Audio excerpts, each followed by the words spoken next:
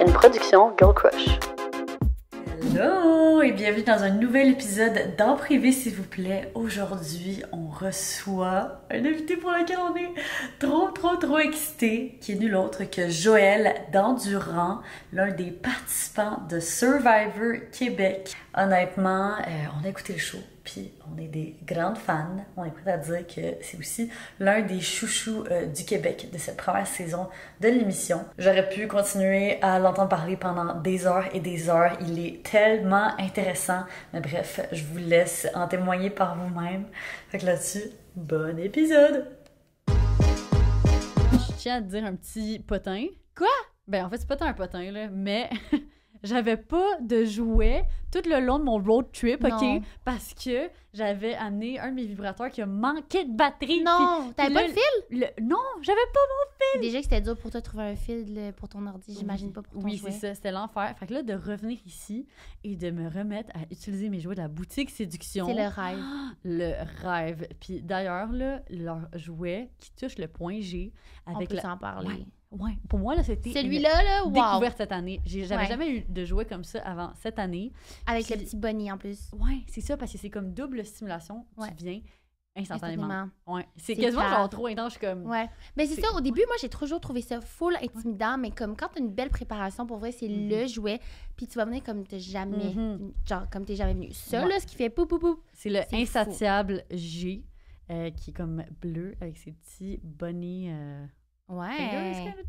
J'adore. Puis moi, le j'ai le Selena. De Adore You. Il est waterproof, il y a 10 modes de vibration.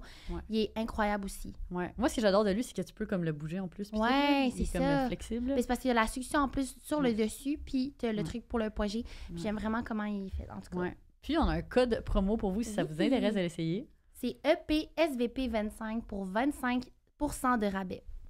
Allez, achetez vos petits jouets. Oui, profitez-en. Ah oui! On vient de recevoir notre boîte, elle est fraîchement arrivée, genre, elle est même pas... Elle est encore scellée, Ouais, même pas ouverte. J'ai vraiment hâte de découvrir les recettes Oui. de cette semaine. Là. vraiment. Mais là, toi, en plus, tu viens de re- revenir de voyage, fait que ça va être tellement convenient. exhaustée. Tu Ouais. comprends pas, j'ai passé à ça toute la journée. En fait, on a une méga journée ici. Puis là, j'étais comme, j'ai tellement hâte de manger mon cook, ça va être facile. J'ai pas le temps de. J'ai eu zéro temps. Ouais, pas le temps d'acheter de la bouffe, pas le temps de cuisiner ça. la bouffe. We Cook, euh, si vous savez pas c'est quoi, Ouais. honnêtement, on s'entend, vous savez c'est quoi? C'est des Oui. repas prêts à manger, livrés directement devant chez toi. Non seulement ils ont les prêts à manger, ils ont aussi euh, Des collations. snacks. Euh, oui, oh my god, j'ai Ah, pas dit ça.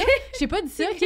Mon chum puis son frère se battent pour C'est les collations de clair. We Cook. Ah, y tellement a- bonnes. y a quelqu'un- à l'avoine, là. ouais, ouais, Mm. attends, oh, j'ai pas dit ça non plus. Il l'a amené à sa job, puis il y a quelqu'un de sa job qui a mangé son biscuit We Cook, puis il était tellement off, il était tellement Hein? frustré, parce qu'il y avait, genre, il gardait précieusement son petit euh, oatmeal euh, raisin. Ouais, Ah, c'est ça, c'est le best. Je vous jure, ça n'a pas l'air si bon dit de même. Oatmeal raisin, mais c'est. C'est protéiné. dé- Ouais, débile. C'est, c'est, c'est tous des petits euh, cookies, puis des euh, Mhm. brownies, puis tout ça. C'est- c'est- dans le fond, c'est comme un peu des cheat snacks, Ouais, mais c'est protéiné.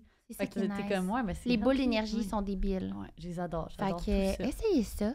Yes, puis on a un petit euh, code promo pour Oui. vous. C'est en privé, s'il vous plaît, 70 pour 35 de rabais sur vos deux premières boîtes. Mhm, En privé, SVP 70. Yes, sir.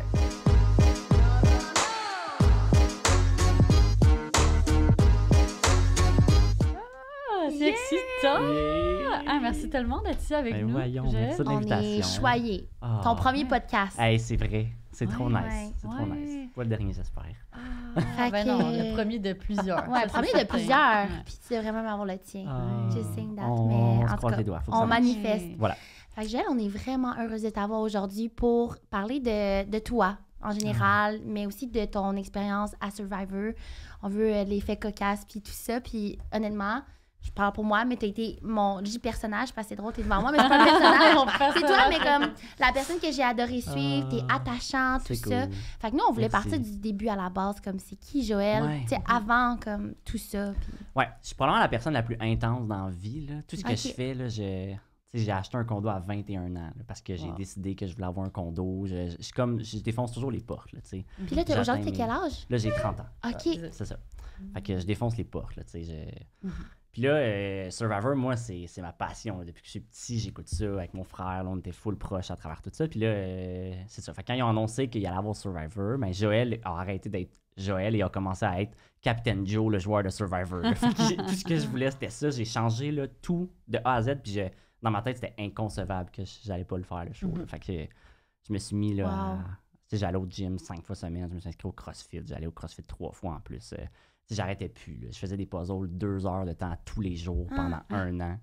Je... Fait avant même de savoir que t'étais pris, genre, Ouais, tu t'es c'est mis ça, à faire exact. ça? exact. Quoi? Fait qu'il y avait changé, aucune- là. Ouais, ouais. Là, il y a une journée. Est-ce euh, est-ce que tu t'es créé, euh, voyons, est-ce que tu t'es créé carré? Est-ce que tu t'es préparé euh, une espèce de comme liste de genre, ok, je vais faire ça pendant X nombre de mois. comme- Exact. Première étape. T'avais un programme d'entraînement, Ouais, ben, si on veut. Dès le c'est le 7 décembre là, qu'il avait annoncé qu'il allait avoir. Survivor, je me suis fait une fiche, là, point pour, point contre, puis là, qu'est-ce qui m'aidait, puis qu'est-ce qui m'aidait pas à, à atteindre mon objectif. Puis tu après ça, c'était chaque point, je trouvais la solution, puis j'ai tout mis en branle là, dans le mois suivant, puis j'ai. Wow. C'est ça, je me suis vraiment mobilisé là, pour atteindre, euh, pour Ah. atteindre ce but-là. là. Fait que t'aimes jouer aussi, t'aimes le jeu, tu dis t'es Ah, je suis un gros bébé, ça. là, je suis vraiment un gros bébé. du Là. gaming. Ouais, ouais, comme- tout ça. Ok. Jeux, jeux de société, euh, tout, tout ce qui est très stratégique. Là. Je sais pas. euh, c'est ça. Je suis plus dans la stratégie, cool. mais ouais. Puis dans la vie Ouais. de tous les jours aussi, c'est quoi déjà ton Je travail? suis éducateur spécialisé. Fait que je travaille Ouais, avec des petits minous dans une école primaire, exact. Puis euh, je travaille avec des enfants qui ont des troubles lourds de comportement. là. Fait que c'est c'est vraiment moi le, le- le bout de la ligne dans le fond de l'école. Fait que c'est l'élève qui lance une chaise à sa prof. Mm. On pense que ça n'arrive pas si souvent, mais ça arrive plus souvent qu'on Ouais. pense. Mhm. Fait que Ben cet oui. élève-là, c'est moi, dans le fond, qui prend le- la situation de crise. là. Fait que comme- je suis comme toujours en, en mode d'éteindre des feux. Puis de... Mhm. C'est ça. Fait que ça, c'est mon quotidien euh, Wow. à Puis l'école. qu'est-ce qui t'a mené euh, dans cette carrière? Euh, à la base, je suis travailleur social de formation. Ok. Puis euh, mon objectif, c'était pas nécessairement de. Je voulais aller travailler avec les jeunes en difficulté. Au début, je visais la DPJ. Puis euh, dans mes stages, j'ai découvert le monde scolaire. Puis c'est, euh, je suis tombé en amour avec le fait d'avoir mon été de congé. Pas en tout, Wow. là, après ça, de retourner avec euh, des conditions de deux semaines par été. Fait que c'est ça. Puis euh, de fil en aiguille, là, j'ai- j'ai j'ai les pieds dans cette école-là depuis 13 ans. là. Fait que à travers, quand j'étais à- au cégep, je faisais comme des remplacements là-bas. Puis euh, ok, j'ai ouais, je suis juste commencé. toujours resté à, à cette école-là. Je suis comme la personne la plus chanceuse au monde. là. Il y avait toujours une ouverture de poste à la dernière seconde dans laquelle je pouvais me faufiler pour réussir à rester à la même école. Que. Ah, c'est Puis, tu sais, tu disais que tu faisais, que là, tu t'es mis à faire full de sport puis tout. Ouais. Fait qu'avant, ça faisait pas vraiment partie de ton quotidien. Ah non, pas tout, tu là, j'étais la personne la plus pantouflarde, là. Je pesais 216 livres. Puis là, dans ma tête, là, je me souvenais de quand j'étais en secondaire 5, je pesais 156. Puis là, je me disais, quand tu vas commencer, puis quand tu vas être prête pour Survivor, il faut que tu pèses 156. Fait que là, j'avais dans la tête que c'était ça le poids. Puis une semaine avant de partir, jour pour jour, j'ai eu mon 156 à la balance. Ah, ouais, c'était Wow. Oh j'ai vraiment atteint euh, tous mes fou, la objectifs. euh, détermination. Ah. Pré-Survivor, Ben, je les avais atteints. félicitations. Merci, c'est vraiment impressionnant que tu te sois comme, tu mis cet objectif, tu as travaillé pour, tu l'as atteint. Ah, ouais, ouais. Puis est-ce qu'il y a eu des moments pendant ta préparation où est-ce que ça a été plus difficile mentalement? Ou est-ce que tu t'es remis en question, tu t'es demandé si c'était une bonne idée? Euh, si c'était une bonne idée, je me suis jamais remis en question sur ça. Mais dans le, dans le processus, mettons, tu sais, toutes les auditions, je suis super. Je manque de confiance, là, tu sais. Fait que tout, le- tout ça, là, j'étais comme. euh, je suis trop intense, je suis trop pas intense. Et euh, une- un des moments où j'ai été définitivement trop intense, c'était. euh, il avait fait un post sur la, la semaine des 4 juillet en ligne, comme quoi il, il recevait Patrice Bélanger. Il venait d'annoncer que c'était lui l'animateur, puis il voulait avoir du monde fan de Survivor dans la foule. Puis là, j'ai comme écrit mon nom, puis la fille m'a écrit, puis il était 2 h l'après-midi, il fallait être à 6 h à Verchères. Puis là, j'ai fait faire des chandails, j'ai monopolisé tout mon, mon entourage, puis on s'est rendu à la semaine des 4 juillet, j'ai rempli le public avec des chandails. Prenez Joël à Survivor, ça avait pas rap, là, tu sais. Puis ouais, C'est ouais, tellement trop fort. drôle. Oh my là, Ok, mais t'es bon en Attends, marketing, c'est- là. Ça, Ben, c'est fort. J'étais- je, je me suis tu sais c'est ça je suis très intense là j'avais un objectif en tête puis j'ai monopolisé la ville au complet pour y, a- pour la- y arriver là tu sais Wow! fait que c'est Attends, ça est-ce que tu penses que ça, ça a contribué ou comme c'est clair déjà que ça a contribué là, parce que ça m'a permis de parler avec Pat ça m'a permis de parler avec les, la- les, les productrices qui étaient là à ce moment-là fait que tu sais, c'est sûr que mon nom était comme j'ai planté une première graine dans leur tête ok tu On sais dit tout le temps ça, il y a, il y planter a des du graines. monde, tu sais, il y a du monde intense au Québec, on vient d'en trouver un, là, tu sais. Puis là, je, là, suis revenu chez nous, puis j'étais comme, OK, c'était-tu trop? Est-ce que j'en ai trop fait, tu sais? Des fois, dans la vie, tu rencontres du monde, puis après, t'es comme, hey, il est intense, lui, sérieux? Genre, il gosse, là. J'avais peur d'être ce gars-là pour Pat, là, tu sais, il m'a trouvé trop. Mais bref, j'ai été sélectionné, fait que ça a fonctionné. Mais ça a aussi été un couteau à double tranchant, parce que sur l'île, c'est ça qui m'a isolé en début de jeu, parce que les gens, ils, euh, les gens, ils savaient que j'avais été à la semaine des 4 juillet, ils m'avaient reconnu, ils avaient fait le, le pont avec ça. Puis euh, c'est ça, fait que ça m'avait ça m'avait scié un peu les C'est jambes. ça, c'était comme pas secret. Exact. C'est ça, ils savaient que c'était Ah, super intense. Hmm, Tout le monde m'avait stalké sur. Facebook parce que ça, avait, ça s'était beaucoup promené. Là, s'il y avait peu d'informations de sortie au, à- au moment où la vidéo était sortie. C'était Mhm. comme la première sortie publique de Survivor, première fois qu'il y avait une entrevue avec Pat en live. C'était c'était comme le premier contact avec le public puis la production. Mhm. Puis c'était moi qui étais là, fait que tout le monde avait fini sur mon Facebook. sais, puis mon Ah, c'est Facebook, c'est que Survivor. Là, tu sais, tout est. Là, moi, stratégiquement, là, j'avais comme tout mis privé, sauf les affaires de Survivor. Mais tu sais, c'était hyper malhabile. là, J'aurais jamais dû faire ça. là. Fait que là, tout le monde avait vu que j'étais parce que dans le fond, les... euh, vous savez c'est quoi le nom des autres participants Hey. avant d'être sur l'île? Non, c'est juste que vu que il y avait vu que moi j'ai fait une sortie publique, les, les gens il y avait Ils, comme ils ont vu ça. ok. tu sais les gens qui étaient intéressés à Survivor, Et regardez les trucs ils regardaient les trucs de Survivor puis ils avaient vu mon nom, fait que là ils s'étaient comme rendus sur mon profil puis fait qu'ils savaient pas si j'allais être là Non. mais tu sais formation au début, tu sais les Mhm. gens ils, ils m'ont tout reconnu là, tu sais sur l'île Ouais. quand on en parlait plus tard. Ben, Ouais. ils me Ouais. on t'a reconnu, on savait que Mais c'était toi. honnêtement, Puis- je le vois pas comme que tu sois une personne intense. Je pense que tu es une personne qui est passionnée. Puis souvent, les gens passionnés, ça peut déranger aussi dans le jeu ou dans la vraie vie ou tout ça. là. Fait que, ouais, on s'est demandé aussi, est-ce que tu t'es renseigné sur euh, les types de plantes, les animaux qu'il y allait avoir? Euh, ouais, ouais, j'ai fait des stages de survie, j'ai fait, euh, j'ai étudié là, la, la faune et la flore des Philippines, euh, j'ai vraiment poussé là, à un autre niveau là, mon, ma préparation à l'été dernier. Ok. Euh, j'ai pas fait ça l'hiver, là, il y a Ouais. des limites, là, mais, mais à, à l'été dernier, pour simuler des conditions similaires, j'étais allé dans le bois euh, à Val-David, puis euh, j'avais, j'avais, dans le fond, reproduit des- un contexte de survie. Fait que je l'ai fait, euh, ma blonde m'avait accompagné, là, puis on, on a fait ça. euh, c'était, moi, j'ai fait cinq jours, elle a pas fait cinq jours, mais tu sais, j'ai mangé que, le, que du- une portion de riz à tous les jours. J'ai, Hein? j'ai, j'ai resimulé, tu sais, je me suis construit un abri dans lequel j'ai dormi. euh, j'avais juste une machette, un flint, qui est l'objet qu'on utilise pour faire le feu, là, Ouais. puis... euh, Ouais. c'est ça, ça fait partie de ma préparation. Puis même n'importe qui qui aimerait faire Survivor, je leur conseille de, de simuler ça juste parce que tu, tu veux le savoir, là, tu sais, si c'est fait Mhm. pour toi ou non. Là. Mhm. Fait que euh, t'as fait en premier un cours de survie, si on veut encadrer, puis Ouais, après ça, exact. tu t'es dit, OK, j'y vais solo. Je pousse la ligne. Puis là, ouais. quand, quand tu l'as fait solo, est-ce que ça s'est passé comme tu l'imaginais, ça s'est bien passé? Ou est-ce qu'il y a eu des éléments que t'étais comme, ah, je suis tellement pas prêt. Ah en ouais, c'est ça, c'est ça. Ben, tu sais, je pense que t'es jamais prêt là, pour Ouais. la fin. C'est pas, euh, c'est vraiment le bout le plus tough, c'est la fin, là, on se Sûr. mentira pas. Là, tu le sommeil, mettons, tu t'es- buzzé la première heure que tu te lèves, mais après, t'as comme un rush d'adrénaline de ton, ton deuxième souffle embarque, mais la fin, là, tu sais, tu gargouilles dans le dos, là, à la fin, t'as faim, là, y a pas un organe qui crie pas, qui, qui te manque des vitamines c'est puis des minéraux, là. Hmm. Fait que ça, c'est le bout le plus, euh, le plus tough, là. Fait que, Le est-ce que- mental, ça. Ouais. Fait qu'est-ce qu'en préparation, quand, quand t'as su que t'étais pris, puis ça allait se passer, est-ce que tu commençais à manger moins, mettons? Ouais, moi, dans le fond... Pour comme préparer ton estomac, parce que je sais que comme ton l'estomac peut Ouais. réduire. euh, Exact, exact. ouais. Les six semaines avant de partir, j'ai mangé uniquement du riz puis du poulet sec avec aucune Six semaines? Ouais. Ouais, Finalement, t'es intense. J'ai. Ouais. Passionné là-dedans, là. Mais je l'ai fait, puis euh, la raison pourquoi je l'ai fait, c'est parce que la dépression alimentaire, c'est selon moi la pire, la, la- la première chose qui va faire briser ton mental. Ouais. Si tu veux être solide dans un contexte euh, comme Survivor, qui est un, un gros jeu, là, tu sais, tu le sais là, que tu vas vivre un millier d'émotions difficiles. Si au moins l'aspect nourriture, tu souffres pas de ça, euh, ben, plus de c'est ça.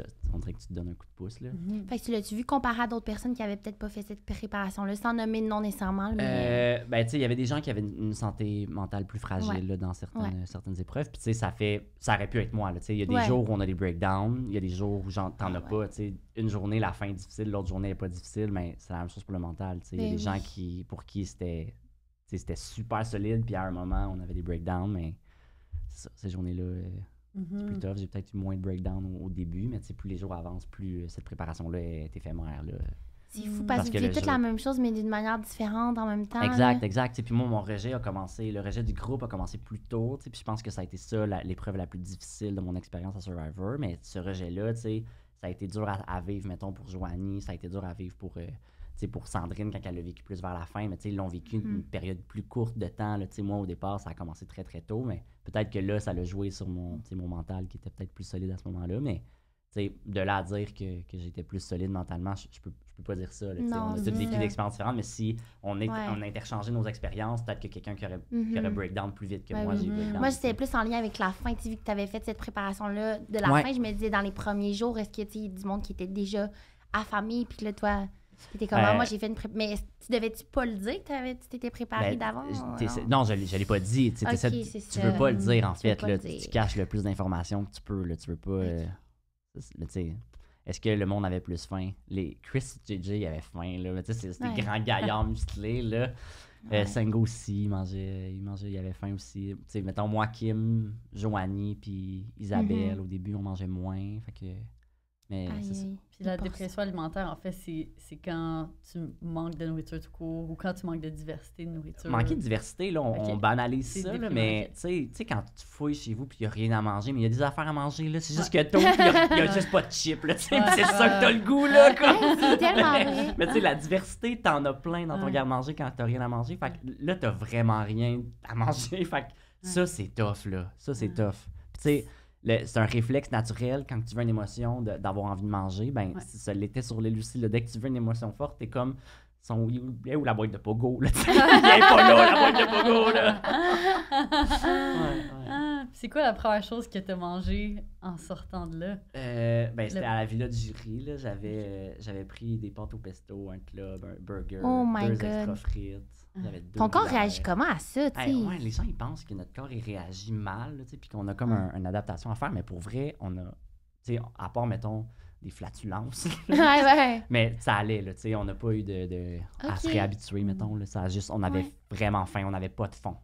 Il n'y avait aucun, aucun fond, là.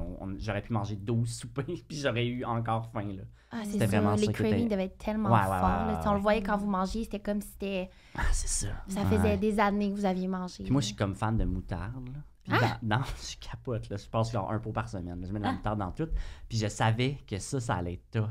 Ça allait, ça allait- un goût ça allait être stimulant, comme l'affaire qui allait me manquer. Fait que dans ma valise, j'avais amené des pots de moutarde pour comme le moment où j'allais sortir. Puis j'ai mangé genre un pot en deux jours. Là. Je mettais de la moutarde dans tout. Là. Ça m'a vraiment manqué. Là. Ouais, ouais, ouais. Aïe, aïe. C'est Mais c'était un petit réconfort. OK, Ah, fait que t'as- accès à ta valise après, évidemment. Ben, ouais, euh, mais oui, dans la villa Ouais, ouais, dans la ville, euh, t'as besoin de tes trucs. La première douche. Mais ça, on va reparler aussi de l'après-Survivor, mais de, pour venir à la préparation, est-ce que comme tu t'es remis à tout réécouter les épisodes, euh, tu sais, pour voir un peu les... OK. Ouais, c'est Ben, sûr de que. tous les, tous les pays, il y a tellement de survivors Ouais, différents. ben il y a pas beaucoup de. C'est très difficile à trouver, là. C'est peu accessible, Ouais. Survivor en ligne. Il faut que tu t'abonnes à des plateformes qui sont tous payantes. Fait qu'à un moment donné, Ouais. tu tu t'es sélectionnes, tu vas Ouais. pas partout. Fait que j'ai réécouté le contenu américain, le contenu australien. Je me suis centré sur ça. Mais tu sais, juste là, t'en as pour euh, 60 saisons, là. C'est Ouais. super long, là. Fait que t'as assez de contenu pour. euh, long. à- à- pour te préparer. Là. Mhm. Euh, fait que j'ai beaucoup réécouté de Survivor, puis c'était beaucoup de. J'essayais d'adapter les épreuves euh, pouvoir les, les reproduire, puis pouvoir euh, les, les analyser. Là. Je mettais à pause, je dessinais les puzzles sur des cartons, mettons. Après ça, Oh je demandais à quelqu'un de les couper pour pas m'habituer au, au Ouais. motif. Puis après ça, moi, je pouvais les retravailler par la suite. Ouais. Euh, fait que, tu sais, c'était tout- c'était toute cette préparation-là qui était longue puis qui était ardue, Et tu mais qui était ça là, tellement le soir fun. puis la fin de Ah, semaine. 24-7, là, je tripais. Ben, j'aime ça faire ça, là, moi, les affaires de même, Ben les oui. trucs artistiques. Ça... Puis ça me passionne, ce jeu-là. Fait que quand j'ai su que j'étais sélectionné, et là, je suis tombé dans une une intensité là, sans précédent, là. Autre C'était vitesse, un là. autre vitesse, là, c'est ça, c'est ça, ouais, ouais, ouais. Puis les puzzles, vu que tu les as tellement pratiqués chez toi, est-ce que quand c'est euh, venu le moment de, de les vivre pour de vrai, est-ce qu'il y a des puzzles, mettons, que tu as reconnus, que c'était les mêmes? Ben, Ou pas tout à fait, tu sais, mettons, les- le premier puzzle de la saison, quand il y avait Rolling Stone, la grosse boule qu'il fallait Mhm. rouler, on montait Ouais. une genre de, de plateforme, puis en haut, il y avait un- Tu sais, c'était un puzzle avec des formes de Tetris. Fait que ça, c'était pas exactement le même puzzle, mais des puzzles en forme de Tetris avec des logos de Survivor, j'en ai fait plein. Tu sais, Ouais. puis à l'école, j'organise des défis sur l'heure du midi avec les jeunes, puis je fais des défis Survivor, puis là, tu sais, c'est le type Ah, de c'est comme ça que tu pratiques en C'est- même temps. Oui, oui, exact, exact. Trouve un moyen de, rentabiliser en mon temps, là. C'est Mais bon. c'est- ces puzzles-là, tu sais, c'est des puzzles qui sont. Fait que c'était pas exactement les mêmes formes, exactement Ouais. le même type, mais c'est c'est un, un- un format de puzzle que j'avais déjà. euh, Mhm. Pratiquer. Tu travailles quand même, tu sais, ton, ton cerveau de la même Exact, manière. exact. Il y a plein de, de puzzles aussi dans les librairies. Là, tu sais, je Ouais. sais qu'il y a plein de monde qui m'écrivent là, comment tu as fait pour te préparer, qu'est-ce que je devrais faire pour l'année prochaine? Mais tu sais, ça, les puzzles, c'est simple. là. Vous n'avez pas Mhm. besoin d'être aussi intense puis de les créer. Il y a quand même des trucs qui existent dans les librairies. C'est juste qu'à un moment donné, à coût de 25 Ouais, piastres, ouais. le puzzle, Ouais. ça peut Ça peut ça pour une préparation peut-être euh, ça. éphémère, mais ça, ça vaut la peine de le faire si tu es passionné de Survivor puis que tu as l'intention de, de y aller parce que j'avais une confiance quand je suis arrivé là-bas pour les puzzles. là, on, Mhm. on décidait rapidement là, en équipe quand on se fait expliquer les épreuves. Après ça, on, a un- un- un- on le voit là, à la télé, tu OK, on vous laisse un deux minutes pour, Ouais. euh, pour, pour parler. Mais dans ce temps-là, c'est vraiment pas 25 minutes. là. On a comme deux minutes. Fait Ah. s'il faut choisir le rôle de tout le monde, ben il faut le faire rapidement. Le fait c'était le fun de dire, OK, les puzzles, personne se posait des questions. C'était comme, c'est toi, Ça va, là, tu sais. Puis Mhm. fait que d'avoir. Euh, euh, ouais. Exact, exact. C'est vraiment cool, puis de se sentir efficace. Ouais, exact. Puis la première, euh, ben, la, pr- plutôt, ouais, la dernière journée avant de partir pour Survivor, c'est quoi l'émotion qui t'habite? Tu dois être émotionnel. Tu parlais Ah, beaucoup de ton ouais. frère aussi. Est-ce que. Ouais, ouais, ouais. Ben moi, c'était comme euh, hey, l'émotion que j'avais cette journée-là. J'étais tellement stressé. Puis tu sais, on ne sait pas ce qu'on s'en va. Tu sais, on, on sait pas. On sait pas, là, tu sais. On commence Mhm. pas. C'est pas la première journée que tu es sur l'île, puis go, là. Tu Fait que, tu sais, ça va être quoi entre le moment où tu pars, puis le moment où tu arrives, tu sais. c'est un- Mhm. On on n'a pas Ok, vous n'avez pas c'est- été briefé sur OK, jour 1, tu sais. Non, c'est ça. Comme c'est ça. Fait l'intégration. Mais l'aventure commence là, tu te lances dans le vide, sais pas ce qui t'attend, Ah. puis c'est Wow. c'est la magie de. de- Puis tu as écrit une lettre là, de ce que j'ai vu sur Ouais, TikTok. Exact, exact. Dans les. le euh, suivre si jamais. Si vous oui. ne suivez pas sur TikTok, c'est comme ça que j'ai Yeah. vu ton contenu puis tout ça. Ah, c'est cool. Mais ouais, c'était vraiment une bonne idée de t'écrire. Ouais, euh, en fait, je m'étais amené un journal, là, c'est plus un journal qu'une lettre parce que, voilà, au début, ça se voulait être une lettre, mais c'est une lettre qui a duré euh, 12 jours. Fait que ça a été long, là, tu sais, c'était une belle longue lettre, mais, tu sais, c'était toutes mes pensées du moment, puis euh, c'est cool à lire, là, tu sais, j'ai pu, euh, c'était le fun, là, si un jour quelqu'un écoute ce podcast-là, puis se demande Mhm. qu'est-ce qui, tu sais, puis tu t'en vas là-bas, puis tu vas avoir la chance de vivre cette aventure-là, je te, je te recommande d'écrire un journal parce que moi, mettons, quand je suis revenu au Québec, j'ai pu lire avec ma famille, juste les- mes pensées de l- tu sais, la Ouais. veille, je pars dans 6 heures, comment je me sens à ce moment-là, c'était cool de, Mhm. de pouvoir partager ça. Puis même moi, mettons, dans 20 ans, de pouvoir relire ça, comment je me suis senti la Mhm. veille de partir, c'est super précieux. Là. Mhm. Fait que tu as pu documenter toutes tes émotions avant que ça commence. Parce que quand ça a commencé, tu n'avais pas le droit à ça. Évidemment, on n'a absolument rien autre ouais. que nos, nos vêtements. Là, fait que, on, Ouais. on est fouillé, sais, une fois les poches, on, on, ne peut, on peut rien amener. C'est vraiment hot. Fait que j'ai des questions par rapport au déroulement. De, là, vous prenez l'avion, vous arrivez, vous arrivez aux Philippines. Si on s'entend, c'est quand même euh, un long vol. Ben, Ouais, plusieurs. C'est un long vol, puis il y a 13 heures de décalage. Exactement. Ouais. Avez-vous une droit à une période d'adaptation? Tout à fait. Puis c'était important aussi, là, Ouais. que juste habituer là, notre corps à un cycle là, naturel Mhm. d'Asie. C'est, on, on est tellement lancé dans des conditions difficiles que si Mm. on n'est pas habitué, ça sera Ouais. pas le fun Ouais. non plus. Là, tu sais, si Ouais. on dort, on vit de nuit, puis on, Ouais.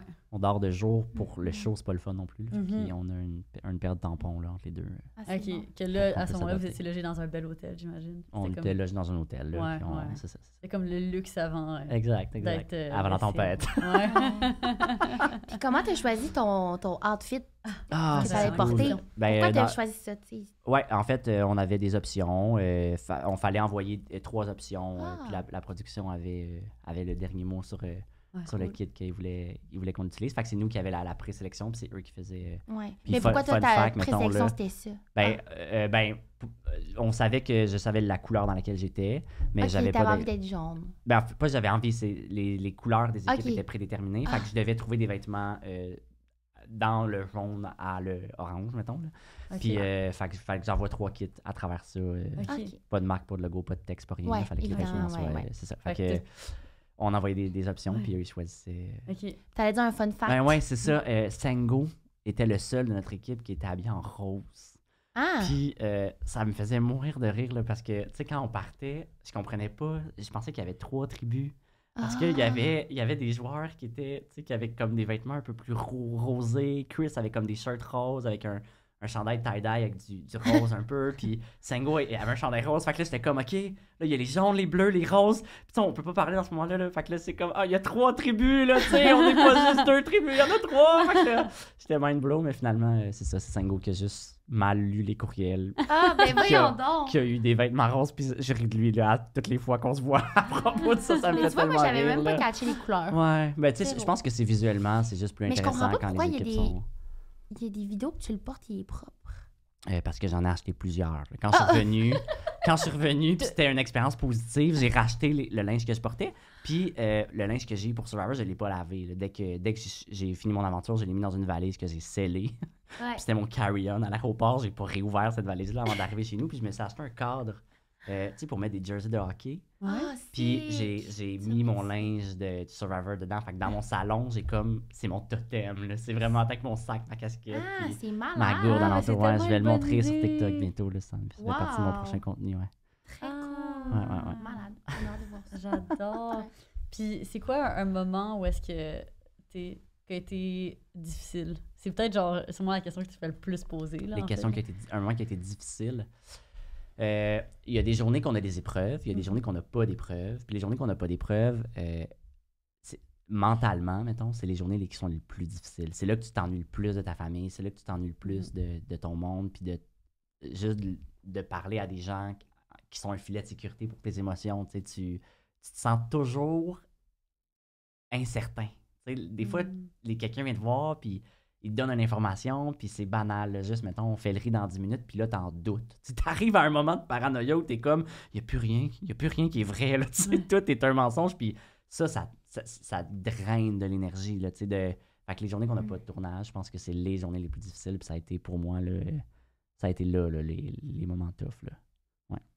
C'est c'est sûr qu'il y a un élément par rapport à la notion du temps, comme quoi, tu t'arrives à Montréal, c'est comme en ville, tout va tellement vite, la technologie. Ah, tu dois être fatigué en regardant ça- Montréal. Ça va Ouais. vite, là. Puis là, c'est ça. Alors que comme sur l'île, mettons, les journées que vous aviez pas de, de, de, de défis, c'est comme, tu regardes, quoi, tu, regardes la nature, genre. Mais c'est sûr que Moi, jaserais tout toujours... le temps ou t'es Ben- tanné de t'en jaser aux Ben, autres? tu jases tout le temps, mais il y a toujours un moment où tu finis par t'isoler, mais il y a Mhm. toujours mille choses à faire sur le camp. là, tu sais, Il y a, il y a tu sais, juste, mettons, accumuler du bois. Une pergola. Tu sais, ouais, une pergola. Quel Ouais. beau projet de Ouais. construction.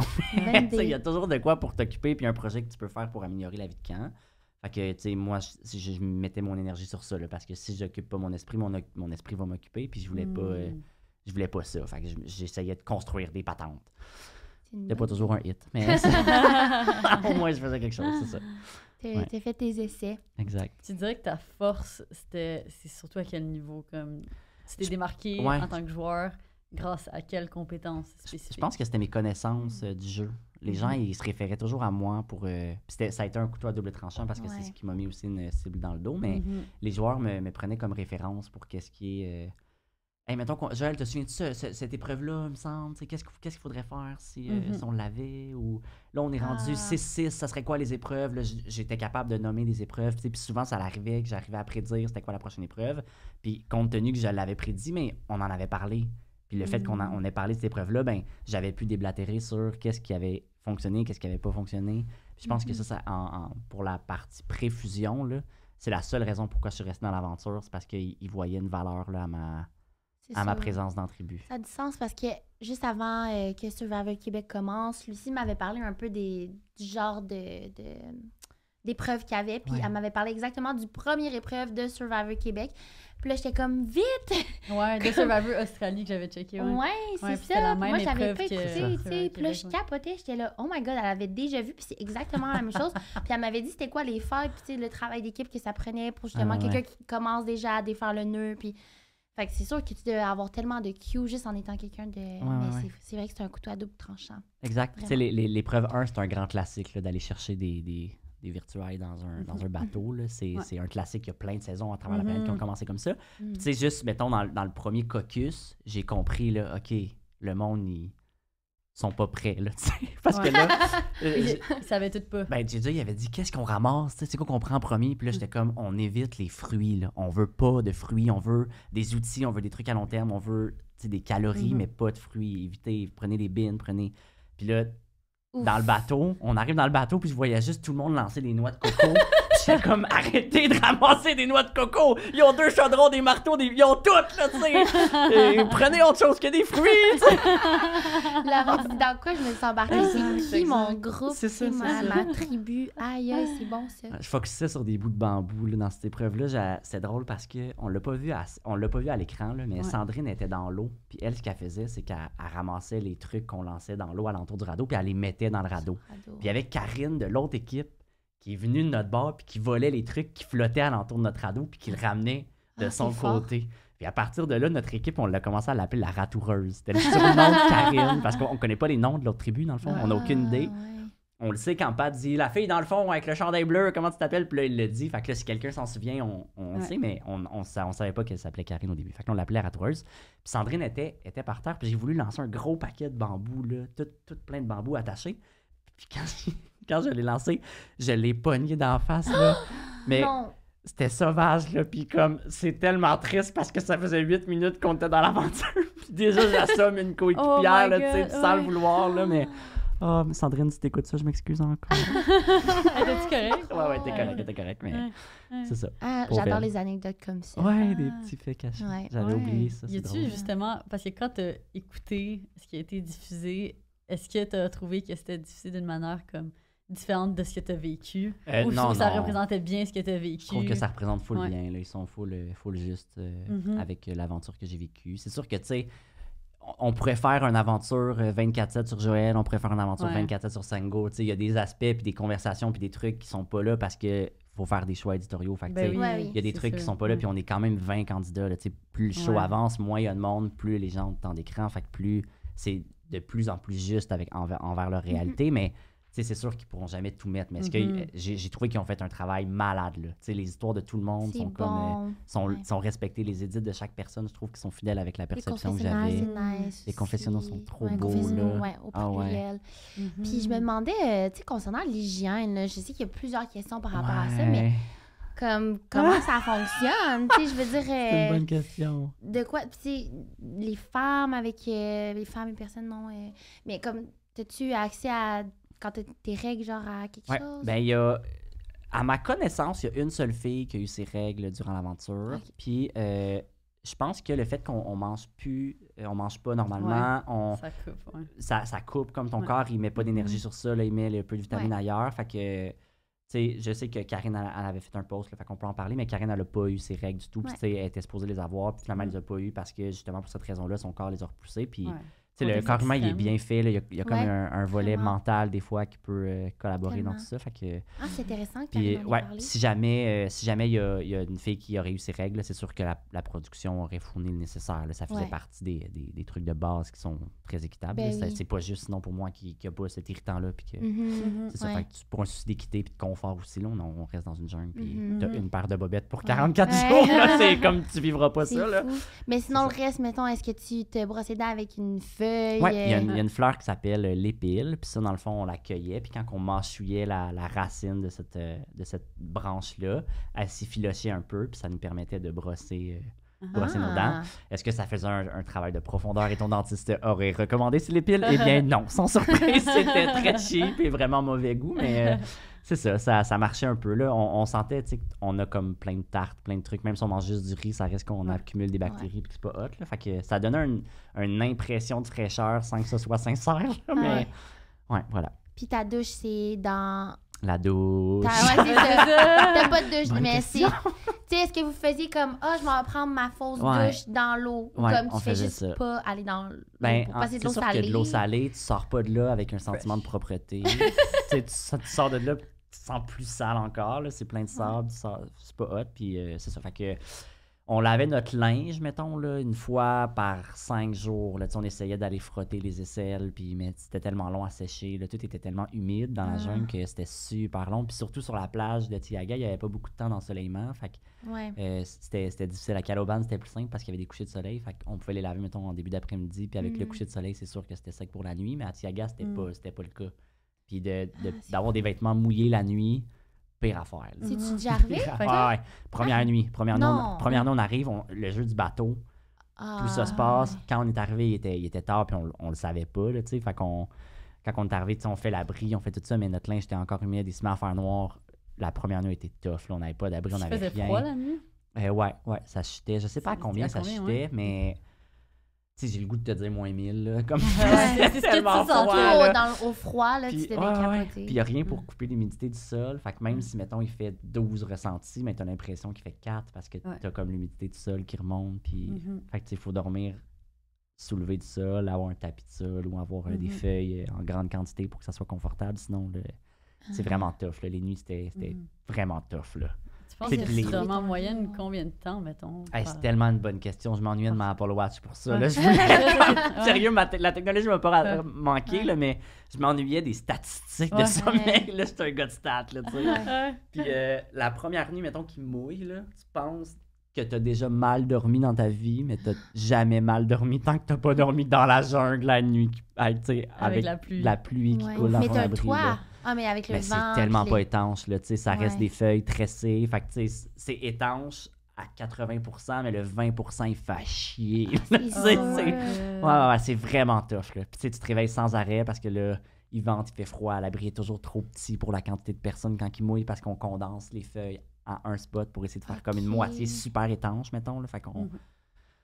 C'est ça. Fait que là, tout le monde est comme couché sur tout le monde, puis tu grelottes en groupe, là. C'est Ah, c'est l'activité nocturne, là.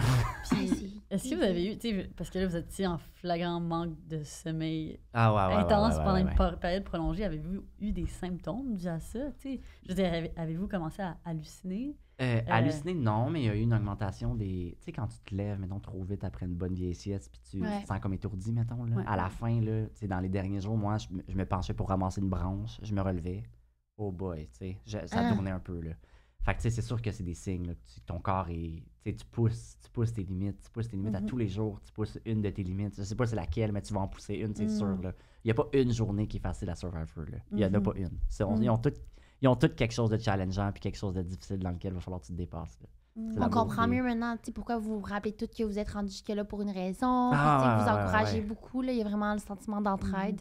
Ouais. En même temps de compétition. tu sais. Puis, tu sais, on, on le voit pas tant que ça à la télé parce que, tu sais, mettons, le soir, on est. Le soir, tu sais, autour du feu, c'est pas intéressant à voir à la télé, là, tu sais, mais c'est des moments qui sont, euh, qui sont purs, a- On tasse la game, puis c'est là qu'on crée des liens avec l'humain, puis c'est là que. C'est là que tu te rends compte de la valeur, puis c'est peut-être ça, tu sais, qui qu'on voit, on voit moins, tu sais, puis il y a des gens qui l'ont eu plus difficile sur les réseaux sociaux, puis Mhm. qui se sont vraiment fait bâcher, mais tu sais, Ouais, c'est pas correct. c'est pas correct. Puis, Mhm. tu sais, c'est- mais ça fait partie de la réalité au Québec. Est-ce que je suis Mhm. d'accord? Absolument pas. Mais on le savait dans quoi qu'on s'embarquait. Ouais. De le vivre, c'est une chose. De le savoir, c'est un autre. Euh, Mhm. Tu sais, moi, je souhaite pas, je souhaite pas ça à personne. Puis cette réalité-là, tu sais, moi, tout le monde, je vois tout le monde comme mon ami dans cette aventure-là. là. Ok. Puis de, Mhm. tu sais, je le vois comme ça parce que c'est vrai qu'il y a des trucs qui ont été faits qui étaient, qui étaient poches, tu sais, que j'ai subis. Mais le Mhm. soir, quand, quand venait le temps de, de jouer au loup-garou, Quoi? ben, c'était Vous hot, avez là. joué pour vrai au Ben, loup-garou? oh, ouais, Sengo, il nous animait des games, là, puis là, il faisait, au début, on n'avait pas de cartes, fait que là, il, il- il disait dans l'oreille, les rôles, puis là, c'était- c'était- on se trouvait des façons de jouer à des jeux, là, on, on se gossait des dés, on a trouvé plein de façons de s'amuser, là, fallait, fallait qu'on occupe notre temps le soir, tu sais, il y, a- il y a un feu, puis le reste, c'est tellement sombre et effrayant que tu veux rester à, à même le feu, là, puis, hey, les étoiles, oh my Ah, ça doit être magnifique. Wow. j'ai jamais vu des aussi beaux ciels étoilés là, que sur, sur Ah, ces îles-là. doit. là. Il n'y avait aucune pollution lumineuse là, à des kilomètres et des kilomètres. là, là. C'était tellement beau. Là. Est-ce que vous avez eu des Hmm. rencontres avec des animaux comme Ouais, ouais, ouais. ouais, ouais. sauvages? tu sais, Ah, ouais, ouais. que- Ah, que- quel genre? peur? euh? Ouais, j'ai eu la chienne de ma vie. Ouais. Euh, à un moment donné, je suis rentré dans une genre de caverne. On cherchait du bois, puis tu sais, on en brûle du bois, là, une Ouais. quantité phénoménale. Ouais, fait qu'à tous les jours, tu sais, il faut aller un C'est petit peu plus loin pour aller trouver du bois parce que. C'est pour ça que tu dis que c'est une- dans- comme un truc chiant à faire. Comme... Ah ouais, ouais, ouais. C'est vraiment. C'est la tâche ingrate, là. C'est le bois le matin. c'est vraiment pas le fun. Puis, Ouais. tu sais, tu mets tes mains dans des nids de fourmis. Tu, mets tu te fais piquer constamment parce que tu vas de plus en plus creux. Puis. Fait que c'est pas, pas le bout hot, mettons, de Survivor. Ramasser le bois, là, il y a d'autres bouts plus hot. C'est cool à faire, mais après une semaine, t'as fait le tour, là, tu sais. Puis à un moment donné, je, je vois dans une grotte, il y a plein de bois, tu sais. Puis moi, je me suis arrêté. Mon raisonnement était, je cherche du bois, voilà du bois. Je me suis pas dit, il y a pas d'arbre dans le trou. Là, clairement qu'il y a une créature qui a amené ces branches-là là-dedans. Fait que je ramasse toutes les, je ramasse toutes les branches. Puis là, Toi, tu dis, oh, jackpot de bois. c'est ça, c'est ça. Je, puis je suis comme, la gang, j'ai trouvé. Puis là, je me retourne et là, il y a. À ce moment-là, je croyais que c'était un dragon de Komodo. Il n'y a pas ça, là. Il n'y a pas ça aux Philippines, là, mais La je me retourne et il y a un énorme reptile. Il est long comme la table. C'est terrifiant. J'ai garoché tout mon bois. Je suis parti en criant comme une fillette là, qui venait de se cogner le genou. J'arrive au camp. Tout le monde, est- tout le monde revient. Ah, Qu'est-ce qui se passe? Qu'est-ce qui se passe? Il y a un dragon de Komodo! C'est à, c'est à 40 pieds du camp. là. C'est à 40 on, est collé, ça grotte. On est collé. Fait que là, tout le monde est comme, on va aller voir, on va aller voir. On se rapproche. Il voit, il voit le fameux dragon. Ok, ils l'ont vu. Oui, oui, tout le monde panique. On revient au camp, puis là, on essaie d'en rire, mais comme, il est vraiment fucking proche. Là. Ouais. Ouais. Le lendemain, on se lève, et là, ça, ça fait partie des secrets de tribu sur novo.ca. Il est mort. Non! Il est sur le dos, les, les énormes griffes sorties, et il a été mangé. Ben Ah. non. Ici, il est tout ouvert. Il y a des vers, il y a des moustiques, il y a Qu'est-ce des. qu'il a mangé? Mais c'est ça le problème! Parce que si lui, il est mort, il y a une pépite qui est plus grosse! C'est ça qui a pas de bon sens, là! C'est quoi qui a bouffé ça? Et là, finalement, on apprend que c'est pas un dragon de Komodo, c'est un iguane. Et là, euh, les experts de la place. C'est iguane. ça. Et les experts de la place pensent que c'était euh, une bataille d'iguanes, une question de territoire. Ah, ouais. On n'a jamais su le fondement de cette histoire-là. On- on- Il n'a pas pu Ah. parler. Le témoin était mort. C'est fait quoi, que- c'est quoi un tribut? Il y a des, des épisodes euh, supplémentaires? Ouais, en fait, euh, sur novo.ca, il y a des, des petits, euh, des petits extras, là, des Ah, choses qui n'ont pas passé à la télé pour euh, telle et telle raison, parce que ben, c'est- qui sont super intéressants. Fait que, Ouais. Dans le fond, euh, Survivor, on fait des petites capsules. Il y en a plusieurs, puis pour vrai, ça vaut le détour. C'est tout le temps drôle. On Ah. voit aussi l'arrivée des joueurs à la villa du jury. C'est vraiment plein de contenu super cool à regarder. Ah, là. T'en cool. as, euh, t'en as vraiment plusieurs. ça, Ouais, ça vaut la peine. Ça vaut la peine. Ah, fait que là, si vous êtes allé ramasser le bois après? Ouais, c'est ça. Ah, là, il était mort, là. J'étais allé chercher, là. Ouais, c'est ça. Hey, parce que j'ai frette la nuit, moi, là. là. Aïe, aïe. Ah, c'est fou, c'est tellement. euh, J'ai eu la chienne de ma Ouais, vie, ouais, puis à part ça, comme. Il y a Ça eu- s'est bien passé. ben, il y a eu plein d'autres animaux, là.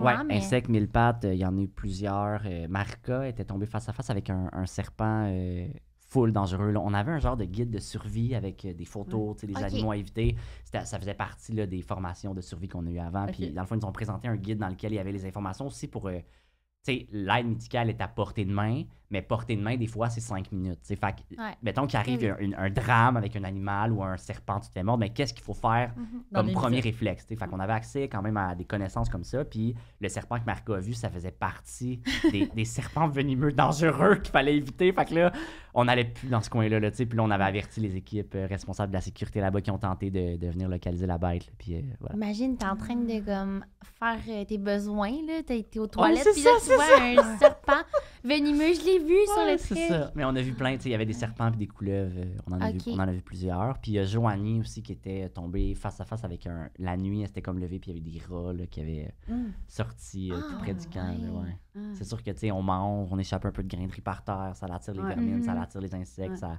Puis ça, c'est la recommandation survie 1, c'est mange pas là où tu dors. Ah. Qu'est-ce qu'on a Ah! fait toute l'aventure? On a mangé là où on a dormi. c'est juste tellement plus utile, mais en termes de survie, ça fait partie là, de... C'est comme la règle 1, puis on l'a pas respecté. Là. Ouais. Et Ah. Un grain de riz peut nourrir 200 fourmis. Fait que, tu sais, si si t'échappes 8 grains de riz dans T'es- le t'es sable, faite, là. ça. t'es faite, là, tu mais on l'a fait, puis ça a relativement bien été. Là. Moi, je, je, je- je conseille aux futurs joueurs de Survivor de ne pas faire ça, mais nous, on l'a fait, puis il n'y a pas eu de tragédie là, par rapport à ça. Ah. La Minute Crunchy, présentée par Pizza Salvatore. Ok, Cindy, dis-moi un- une chose crunchy qui s'est passée dans ta semaine. Fait que euh, je reviens de voyage, puis c'était un voyage pas mal de brosse, OK? Toute la fin de semaine, on a comme quand même bu, écouté la musique et tout ça. Et évidemment, j'ai été malade, mais genre, c'était dans le, un moment qu'on s'en attendait le moins, OK? Puis j'ai été malade quand j'étais sur un rooftop, dans le fond. Tu m'as pas Puis- raconté ça? Ouais, j'étais sur un rooftop, puis j'ai été malade, puis le nom du bar, c'était le Loser Bar à Nashville. C'est tellement loser, là. Oh my god! Ok, crunchy. mais c'est tellement comme parfait que t'as vomi en haut du loser bar. Attends, puis t'as vomi de en haut vers en bas? Oui, mais il y avait un toit. Ah, trop tôt. Ok. Ouais. Oh my god, imagine si t'avais vomi sur un Mais passant. non. Toi? Oh my god. Euh, moi, la minute crunchy est actually un petit peu triste parce que j'ai pleuré. Comment J'ai pleuré cette semaine. Parce que ben, j'ai amené Barb au garage pour une petite réparation qui ne devait pas s'avérer grand-chose. Finalement, le mécanicien me rappelle en me disant que Barb est basically bonne pour la scrap. Mais que non, genre, mais il il mettrait cave. pas une scène de plus dans ce véhicule. Fait que moi, je me suis immédiatement mis à pleurer. là, en plus, j'avais full, full une grosse journée. J'étais genre, qu'est-ce que je fais? Est-ce que je vais continuer à travailler? je suis comme, ah, j'ai appelé mon chum. Fait que là, je l'appelle. Puis là, je suis comme. Je suis comme. Puis genre, qu'est-ce qu'il y a? Puis je suis comme. Je suis triste. Ah. Mais ouais, c'est ça. On va close. figure out une solution pour Barb. Elle est It's pas faite pour la scrap. the end. Ouais. Non, it's not. C'est un mécanicien qui ne Fâché. pas de travailler sur un véhicule rouillé. Exact. Mais ouais.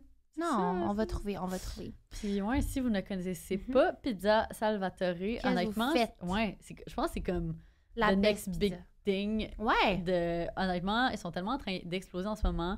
Ils Mhm. ouvrent pratiquement une succursale à chaque deux semaines. Je sais, c'est débile. Ouais. Il y a 10, euh, 70, 70 là. Ouais. Pizza Salvatore au Québec, Nouveau-Brunswick et en Nouvelle-Écosse. Mhm. Puis moi, la première fois que j'y ai goûté, ça fait un moment, mais c'était avec ma famille. Puis ma mère l'a Ah. commandé via l'app. C'est vraiment facile. Puis genre, je te jure, je savais même pas que c'était ça. Puis j'étais comme, wow, c'est la meilleure pizza que j'ai mangée. Mm. Ouais, Puis en plus, si tu commandes, j'ai vu que si tu commandes sur l'application ou Mhm. sur leur site web directement, tu as 10 de rabais sur la pizza. Ah! Ça vaut quand même la peine de comme ne pas utiliser ton application de, Ouais. de, de commande de bouffe euh, habituelle. Débile. Puis J'adore. de, de télécharger leur application. Fait qu'on va vous inclure Yes. le petit lien pour télécharger leur app dans la description. 40, Ouais. Fait que c'est quoi les trucs les plus euh, hors du commun que t'as mangé là-bas, que t'as cueilli, ramassé, tu des insectes? Il y Ouais, avait, il y avait zéro fruit. Il y avait zéro Ah. fruit, là, c'était c'était aride. là. C'était comme- ouais. Il y avait rien partout. Sauf des noix de coco un peu au sol.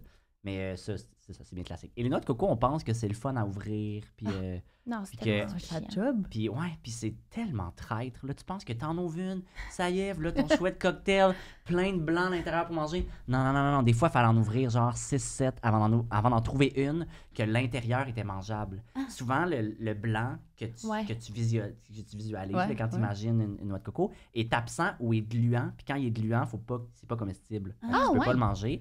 Mais c'est Ok. comestible, mais Ça goûte la merde. Ouais, c'est ça. C'est, ça goûte la merde. Tu veux pas manger ça. là, tu sais. Fait que tu, tu dois en ouvrir tellement et c'est tellement d'efforts caloriques. Puis dans une noix de coco, de un, le jus, c'est, un laxatif. Fait que tu peux pas en boire à l'infini parce que t'as déjà rien dans ton corps.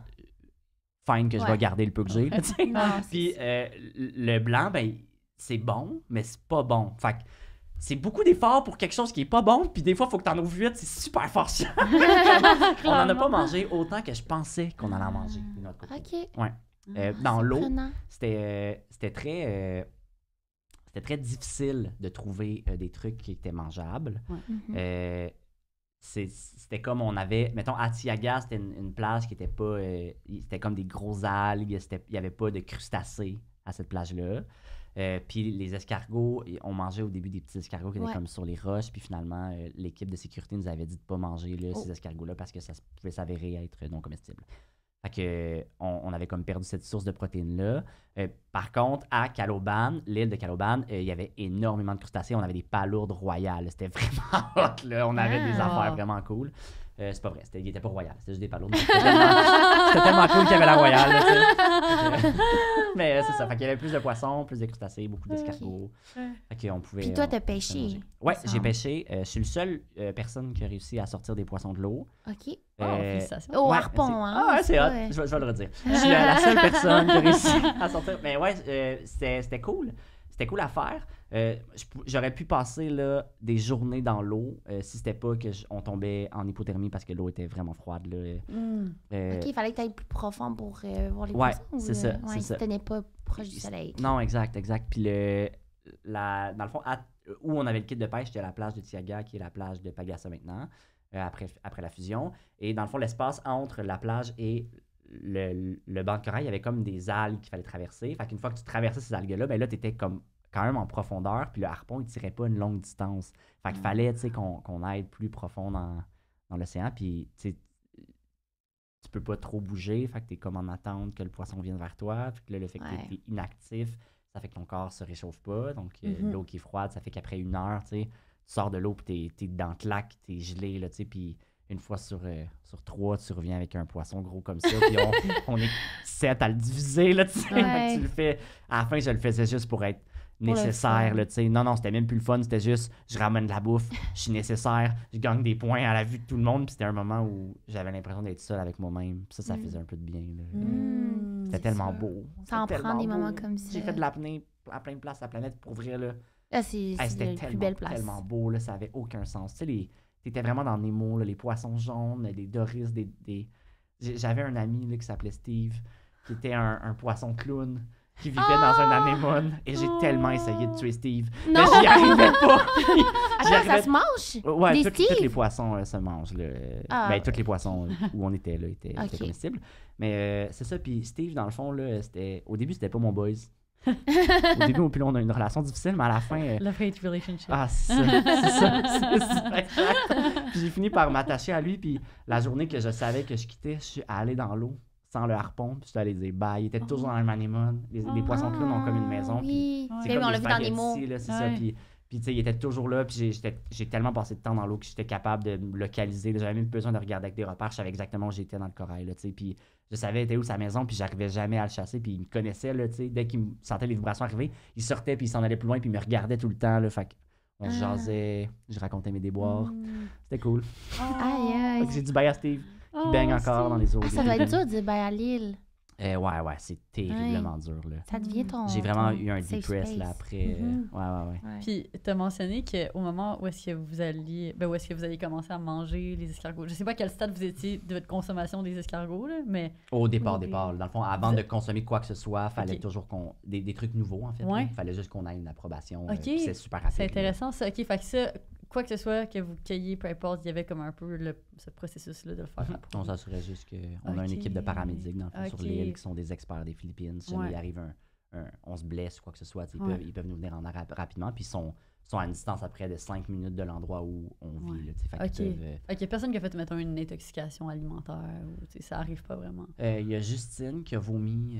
euh, Ok. qui a vomi. On l'a Ah. vu dernièrement là, dans l'épreuve où elle s'était Mhm. retirée. Mais euh, est-ce que c'est dû à une intoxi- intoxication Ah, alimentaire ou ouais. juste le fait que son corps, tu sais, à un moment donné, te Ouais, lance des messages de je suis à bout, mais c'est ça. Ouais. Fait que je sais pas. Ouais. euh, je sais pas ce que c'était, j'étais plus là à ce moment-là, mais Ouais. Ouais. je- de, de, je- de mémoire, je pense que c'est la seule qui a été malade. euh. Ouais. Ah, ça va être tellement difficile pour vrai. Mhm. Puis justement, tu nommes plein de noms, comme puis Oui. tu t'entends bien avec tout le monde. Est-ce que tu as eu un friend crush? Euh, ah, tellement, là. Sylvain, Sandrine. Ouais. euh, ah, ouais, ouais. Sandrine, c'était un love-hate relationship. Ah, aussi. vraiment, là. Moi, j'aime ça, ces relations-là. là. Ouais? J'aime, j'aimais ça avec Sandrine parce que on, on se disait la vérité. C'est une des seules que Mhm. quand elle me parlait, je le savais qu'elle me bullshitait pas. Puis, Ouais. Tu le je, je- on dirait que, tu sais, on a commencé l'aventure, puis on, on s'était fait une, une alliance de confiance. Fait qu'on on se disait pas qu'on allait voter ensemble, mais on se disait qu'on allait se donner l'heure juste. Si, Ok. S'il y avait des votes orientés vers toi, je vais te le dire. Tu sais, je, je serai pas.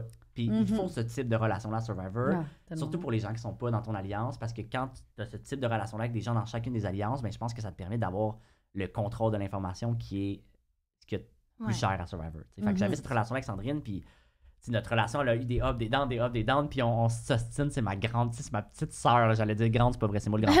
Mais tu sais, c'est ma petite sœur Sandrine, là, je l'aime d'amour, puis elle- elle- c'est ça, fait qu'on on, on a cette relation-là, puis Sylvain, ah, quel homme incroyable, là, sérieux, il est tellement, tellement drôle, là. Moi, il y a- Ouais, il est ça, ça fait longtemps, c'est ça. Ça fait longtemps que j'avais pas rencontré quelqu'un là avec qui je m'étais autant. J'admire ce gars-là, là, de tout, Mm. de A à Z. Là. Un papa, il est tellement investi dans tout. Il, il Ah. appelle ses gars les tigres. Comment tu veux pas l'aimer? Non, c'est ça. Voyons, c'est trop cute, là. Ah, mais c'est trop Ouais, fun. Puis est-ce euh, garder c'est- contact avec euh, la Ah, plupart, question euh, tu sais, aussi, quelques personnes. Ouais, eux. ben on pouvait, euh, on, on pouvait s'écrire un peu. Ouais. On pouvait pas se voir là, avant la fin de la diffusion. Mais non, ouais, c'est sûr. euh, on s'écrivait, là, puis on, reste en, en super terme. Là, fait que, tout- tu sais, aussi, quand on voit, mettons, il arrive quelque chose dans un épisode qui est tough à quelqu'un, ou Ouais, on c'est voit quelqu'un le plus tough sur les réseaux sociaux, Vous soutenez. prendre soin les uns des autres, là, tu sais, on, on est vraiment unis là, dans tout ça. C'est super vraiment. beau. Là. Ça doit être difficile Mhm. de revoir les émissions puis de justement penser que tu sais, c'est le joueur qui dit quelque chose. de- Ouais. Exemple, toi, de voir euh, tout le monde qui cheer up quand, exemple, t'es éliminé parce Ah, que. ouais, ça, ça a été Pas tough, parce que. Ouais, c'est ça. Ouais, de voir les émotions, Ouais, tu sais. comme- ouais. Ben, c'est sûr T'es que... t'es entouré de qui quand t'écoutes les émissions, toi? Euh, ben, ma blonde, elle est souvent là. Ouais. Sinon, c'est mes sœurs, euh, ma famille euh, qui, sont, qui sont présents. Mais tu sais, je pense que de la force de notre cohorte de joueurs de Survivor, ça a été d'être capable de faire la différence entre l'humain et le joueur. Puis, à- tu sais, on se l'est dit et redit. Puis, une fois que l'aventure était terminée, il y a eu beaucoup de vide sac. Il y a beaucoup de gens qui, qui sont venus me voir puis qui m'ont dit écoute, à, à ce moment-là, il va falloir qu'on se parle. Je veux te justifier pourquoi j'ai dit ça. C'est bon, ça. Euh, j- tu sais, j'ai peut-être pas été fin avec toi à ce moment-là, tu sais, puis moi aussi, je l'ai fait avec d'autres personnes. On, Ouais. on l'a tous fait, puis je pense que ça l'a, ça l'a permis que le groupe reste euh, avec une cohésion même après, Mm. malgré les, les trucs qui ont été dits et qui ont été faits. Puis ça reste un jeu, là. C'est Ouais. le plus beau jeu au monde, là, tu sais. Puis on est tellement chanceux de l'avoir vécu que de supporter là-dedans, je pense que c'est la base. là. Mhm. Vraiment. T'as vraiment fait en sorte que le monde tombe en amour aussi avec le jeu, je Ah, trouve. Là. mais je- je Moi, ça m'a fait ça. Moi, je connaissais là? pas du tout Survivor. Ouais, ça, Zéro de zéro, là. Puis là, j'étais comme, ah, tu sais, tout le monde en parle. euh, je vais regarder un peu, puis, tu on travaille fort, euh, je suis comme occupée. Fait c'était vraiment mon petit moment Ah. self-care, de comme, tu sais, le monde était comme, ah ouais, t'écoutes ça, toi? Oui, c'est vraiment bon. J'ai convaincu tellement de monde de l'écouter. Hey, puis je suis content que tu me dises sais, ça. parce c'est même pas mon genre de le faire, là. Il y a plein de monde qui me verbalise ça, là, que c'était comme le moment. Ouais. Tu sais, il y a, il y a plein de mamans qui m'écrivent, là, genre, euh, je suis Mhm. monoparentale de quatre gars, puis ça va pas, puis quand je me couche le soir, ben, je prends mon 30 minutes pour vous écouter, puis ça me fait du bien, puis je trouve ça, je trouve Ouais, ça beau parce que c'est ça, Survivor. C'est comme un. Ouais. C'est- vraiment un moment où, où tu peux analyser des gens qui font quelque chose que peut-être que tu fais pas le courage, mais tu sais, tu te dépasses d'autres façons. Puis, Mhm. tu sais, maman monoparentale de quatre gars, là, le dépassement de soi, t'as pas besoin d'aller sur un île pour le faire. Ouais, C'est ça, au quotidien, au que tu te dépasses, mais elle, elle va chercher un- Elle, elle peut, elle peut faire des liens avec des joueurs, elle peut s'associer à des Mhm. joueurs, elle Ouais. peut... Fait que tu sais, ça te permet de vivre l'aventure, peu importe c'est quoi ton style de vie, tu peux t'associer à des joueurs parce qu'il y a des types de castes de tous les genres, Ah, de tellement de tous les types, de toutes les, Ouais. les professions, de tout. Fait que tout le monde peut y trouver son, son petit soi à l'intérieur de quelqu'un. Mhm. Puis c'est ça qui fait que c'est beau Survivor, c'est que ça réunit la population au complet. Ça Ouais. réunit tout le monde. Ça... Ouais, ça n'a pas d'âge. C'est un show familial. groupe. Tu sais, Ouais. Les enfants peuvent l'écouter. Il n'y a pas Mhm. rien d'inadéquat. Il y a, tu sais, il y a des avertissements dans le show là, parce qu'il faut en mettre. Mais tu sais, je veux dire, c'est Ouais. c'est un show que tu sais, tous les élèves à mon école ont pu l'écouter. là. Mhm. Puis il n'y a aucun. euh, y a Ah, mais personne, c'est tellement vrai ce que tu dis parce Mm. que je pense que qu'est-ce qui me rattachait à toi, c'est beaucoup le fait que tu parles de ton frère, ton Ouais. deuil, tout ça. Puis Lucie et moi, nous, on a créé notre lien de, de- en- d'entrepreneur, puis de, aussi d'amitié à travers le fait que les deux, on a perdu notre père euh, dans les dernières années. Fait que quand j'écoutais, désolé j'étais comme, oh my god, c'est fou comment que tu le fais vivre à travers. Puis nous aussi, quand on a passé da- dans des émissions, ou comme qu'on vit des moments, tu, tu repenses à ces gens-là qui seraient tellement fiers de toi. Là. Fait que, Ouais. ouais. C'était beau, puis j'ai été chanceux parce que j'ai été très euh, le pédagogue de la saison. Puis une de mes phrases pendant la. Tu sais, moi, j'allais à Survivor pour jouer, mais j'allais à Survivor pour enseigner au Québec c'était quoi ce jeu-là que j'aime Ouais. donc bien, pourquoi je l'aime donc bien. Puis, Mhm. sais, j'ai eu la Avec la possibilité d'avoir un- d'avoir la chance que c'est moi qui expliquais c'était quoi la fusion, c'était quoi Mhm. euh, un remaniement, c'était quoi. Tu sais, j'ai expliqué les concepts au Québec, puis ça, pour moi, c'était tellement important. Fait que je suis tellement privilégié d'avoir eu ce rôle-là dans la saison. C'est Mm. cool. Je me trouve full chanceux. Puis là, tu mentionnes justement ton rôle de comme pédagogue. Là, tu as réintégré ton travail Ouais. ici euh, au Québec. Puis comment ça se passe de comme Mhm. euh, réintégrer ça? Ben, de un, tu sais, de, de passer à l'île qu'elle a comme tu dors dans un lit. Ah ouais, mais la, Ça. la première nuit, je l'ai pas dormi dans un lit, moi, je l'ai dormi à terre. euh. Ah! Ouais, j'ai mis mon haut des salles, puis j'ai dormi sur le sol. là. Je voulais rien savoir d'être dans un lit, j'étais pas prêt. Là. Ma place était sur l'île. Ouais, ouais, c'était Je voulais rien savoir T'avais encore le cœur sur l'île. Ouais, exact, exact. Mais j'ai recommencé à travailler euh, deux jours après mon atterrissage euh, Ah. ici. Fait que mon décalage, c'était même pas délai, là. C'était vraiment euh, go, go, go. Fait que euh, c'est ça. Fallait faut que les piles, faut que les billes s'abeillent. Fait que- Ouais. Ah. Fait que oui, j'ai commencé rapidement, mais euh, mon équipe école a été vraiment cool. là. Ils ont été full compréhensifs que j'étais. ils- t'ont suivi, sûrement. ils m'ont Ouais. suivi, puis ils étaient comme pi, pi, pi, pi, pi, tu sais, puis tout le monde veut savoir, puis tout le monde, Ouais. puis. Fait que là, ils ont été full respectueux dans le fait que, écoutez, j'ai pas le droit de le dire, j'ai pas d'en parler, on va le découvrir ensemble, puis on est Ouais. revenu, ça commençait sous peu, puis, tu sais, ça- ça a été, je pense que c'était comme, mettons, une semaine Ok, vous êtes vraiment revenu entièrement Ouais, avant que ça commence. Tout juste, tout juste. Puis, tu sais, cette semaine-là était difficile parce que, hey, moi, garde un secret positif. Sais, c'est tough, là. Je suis comme, j'ai trouvé peine. une immunité! Je dire, là. Fait que une fois que le show a commencé à être diffusé, c'était cool parce que il y a, il y a des petits trucs que je pouvais raconter à chaque, à chaque Mm. émission. J'étais comme, hey, cette journée-là, il m'est arrivé ça, c'est vrai, tu sais, ça, c'était drôle. Puis, Ah.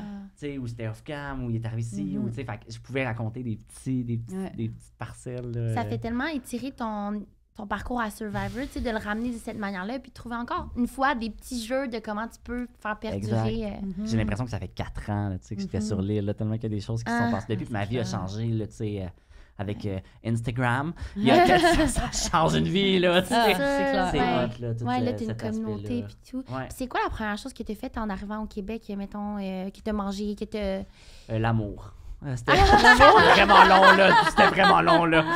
Euh, mais sans faire, tu sais, juste manger, mettons, avoir accès à, tu sais, faire une épicerie, mettons. Ah, OK. Hey, ça, c'est jouissif. là. Genre, tu réalises ouais. pas Ouais, la chance que tu as de pouvoir faire. Tu sais, tu passes dans les rangées, tu choisis qu'est-ce que tu veux. mais Il y en a des options. Là. J'ai- Je me suis fait le plus gros panier là, de l'histoire de ma vie. là. Moi, j'habite en face de- du- d'un d'un épicerie, fait qu'à tous les jours, Le je vais mon souper, le super C. Ah, j'ai...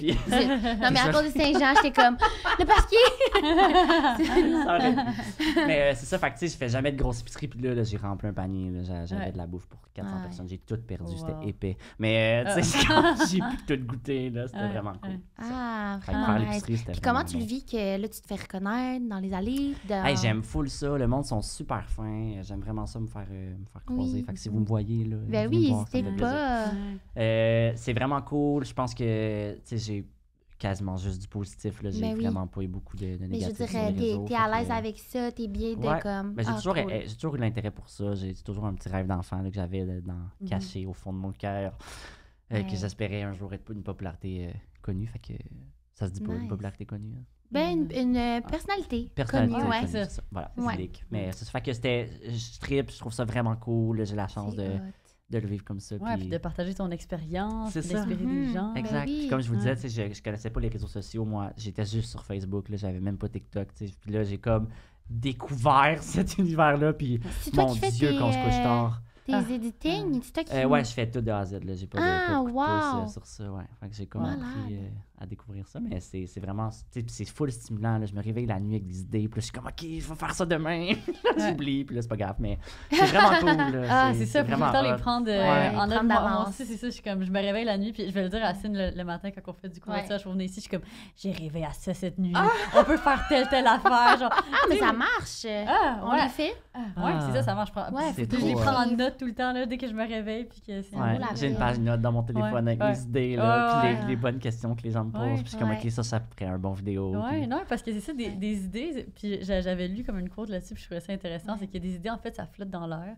Puis là, ça va venir comme s'ancrer dans un cerveau. Puis tant qu'il n'y a pas d'action qui est prise, l'idée t'appartient pas, en Elle fait. appartient Il y a peut-être quelqu'un qui a la même. tu sais, faut que tu prennes action. Ouais, ouais, ouais, je comprends. tu t'as réalises tes projets, Ah, tes trucs. Ouais. Mais ouais, tu dois tellement avoir un sentiment que genre tout est luxueux maintenant que t'es revenu parce que tu sais, Ouais. le fait d'avoir un lit, le fait d'avoir une salle de bain dans laquelle faire ses besoins, prendre une douche Ben, à en fait, ça s'oublie peut-être vite, puis on le sait pas, tu sais. Ben, ça, sou- ben, moi, mettons, je, je suis encore reconnaissant pour bien des choses. Là, tu sais, Ouais. j'ai- c'est c'est pas, encore, euh, c'est pas encore éphémère, mais mettons un miroir.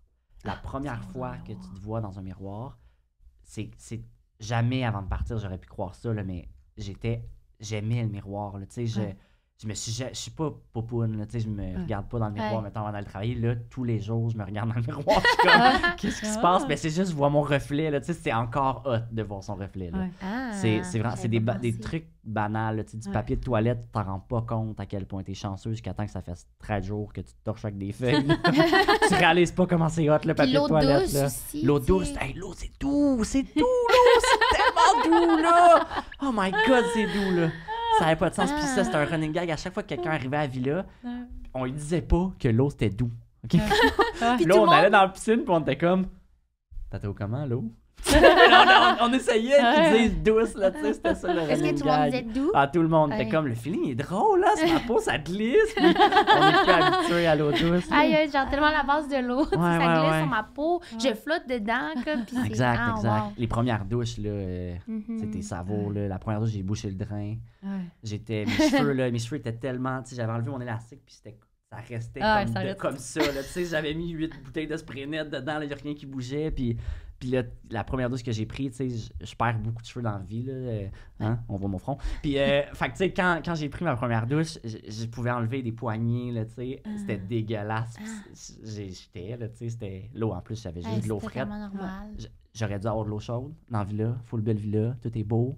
Juste de l'eau froide. Ben, Ah, ça fait du bien. il y avait de l'eau chaude, chaud. c'est juste que le truc est installé à l'envers. Fait que, tu sais, il y a comme toujours une ligne rouge puis une ligne Ouais. bleue. Crème, c'est sûr que le rouge, c'est le chaud, mais ma douche était comme à l'envers. Ah, c'est niaiseux. Fait que mes Ah. deux, trois premières douches, j'ai j'ai pris à l'eau froide. Jusqu'à temps que je disais à Sango, Hey, t'as-tu de l'eau chaude dans ta, dans ta chambre, toi? Puis il était comme, euh, ouais. Puis là, j'étais juste, Euh, je vais aller dans ta chambre, clairement, prendre ma douche. Puis là, finalement, je l'ai testé, puis j'avais de l'eau chaude. Fait que, Ah. mais même, même une douche tellement pas froide. autant satisfaisant, mais quand même. Mais Ouais. j'ai full savouré. Ouais. On dirait que j'ai vécu ça deux fois parce que juste prendre une douche, c'était un, un plaisir oublié. Fait que Euh, je l'ai Une pris à douche l'eau- chaude. pris à l'eau froide. Puis deux, trois jours plus tard, quand je l'ai pris à l'eau chaude, ben, j'ai Ouais. comme redécouvert la douche chaude. Fait que j'ai vécu deux, deux wow avec les douches. Oh my god. La seule expérience que je peux comparer, moi, c'est que je pars comme souvent, euh, tu sais, des blocs de genre 4-5 semaines dans notre euh, Ouais, ouais, ouais. bus, que c'est c'est un bus converti. Ah, nice. Euh, ouais, on fait, on fait aussi une tournée de pop-up pendant l'été, là, avec Barbie. Trop hot. Puis c'est ça, il n'y a pas de douche dedans. Fait que moi, c'est comme je me lave une fois,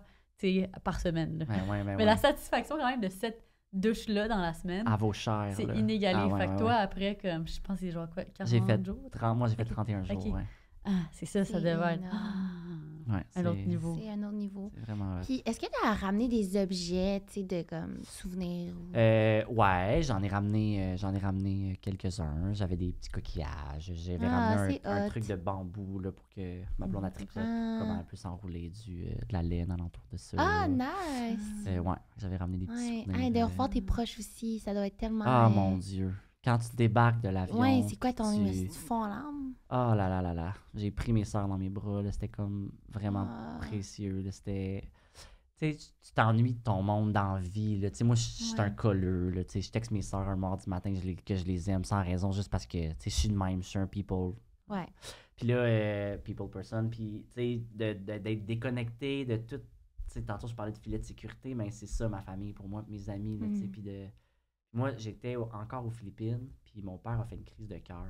Ah, Fait que, ouais, fait que j'avais, j'avais- il- dans le fond, Ce qui est on n'a pas le correct. droit de parler. Ouais, tout est correct, là, tout est beau, Ouais. mais tu sais, il a dû être opéré d'urgence. Fait que Wow.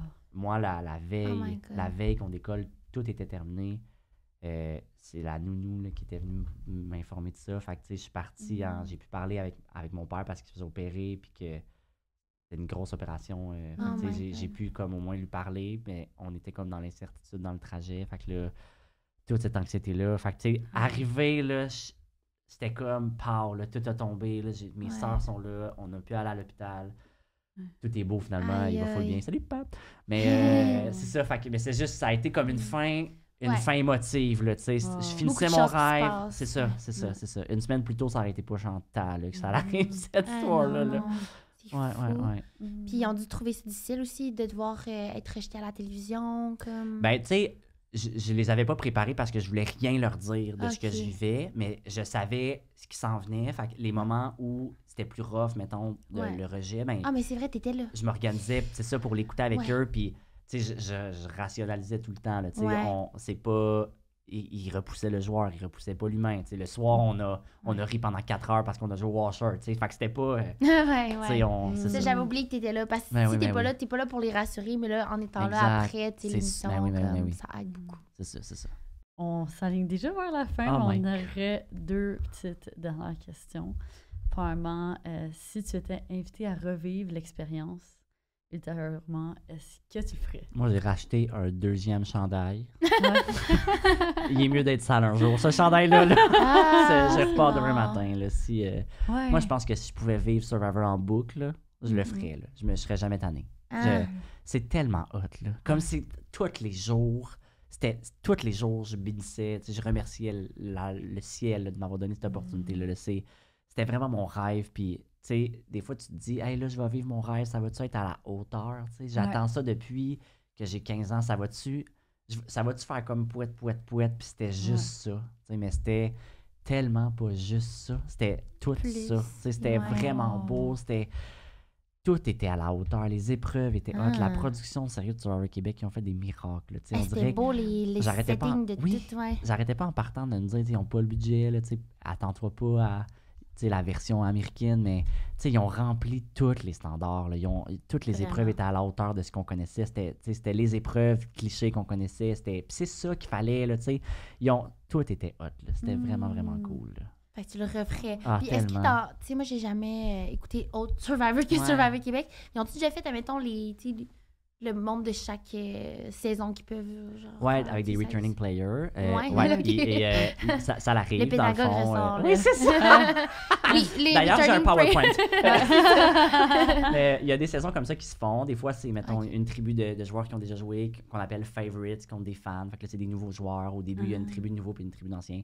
Des Ah! fois, c'est juste des All-Stars. Des fois, ça peut être, euh, All-Star, c'est- c'est ça bon. peut être hero versus villain. Fait qu'au début, c'est juste des joueurs qui ont eu des, des, des, des edits de joueurs euh, héros. Puis l'autre, c'est juste des joueurs qui ont eu des, des edits de vilains. Fait que là, Ah. c'est deux tribus. Tu sais, ça- ça- il y a plein de, plein de concepts qui existent. Là. Ah. Puis ça, c'est ce qui fait que c'est bon. Là. Il y a, il y a Ouais. des concepts, tu sais, des fois, c'est, mettons, euh, blood versus water. Fait que là, t'arrives avec ton loved one. Fait que, mettons, moi, c'était ma sœur. Mais là, on arrive, dans une tribu, il y a toutes les loved ones, puis dans l'autre, il y a toutes nous.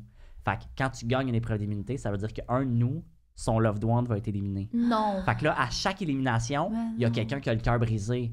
Puis c'est, c'est à double tranchant parce que plus tu avances dans le jeu, plus il faut que tu sépares les duos parce que là, c'est sûr qu'ils ne s'élimineront pas. Son frère et sœur, ils veulent gagner ensemble. Fait que là, Ouais. ça rajoute des, des, des Y couches de des stratégie. Puis c'est déjà arrivé qu'une fille a voté contre sa mère. Ah!